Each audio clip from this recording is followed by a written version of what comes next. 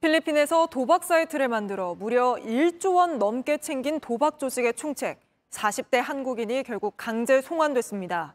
2년 전 슈퍼카를 열대 나 물며 호화 생활을 하다 붙잡혔는데 그동안 송환되지 않으려고 필리핀에서 꼼수를 부리며 버텨왔습니다. 김지윤 기자입니다.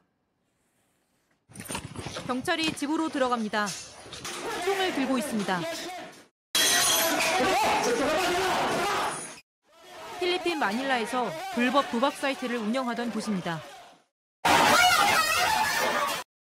지난 2021년 불법 도박 사이트를 운영하며 1조 3천억 원을 챙긴 조직이 붙잡혔습니다.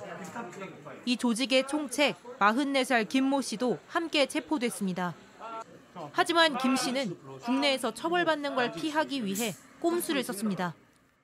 가짜 사건을 만들어 자신이 연루됐다며 필리핀 수사기관에 스스로 접수했습니다.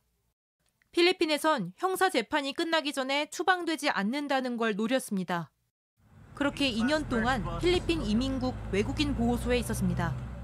우리 경찰과 외교부는 필리핀 법무부에 계속 김 씨를 보내달라고 요청했습니다. 지난 18일 추방 결정을 받았습니다. 그런데 김 씨는 지난 25일 다시 사건을 접수했습니다.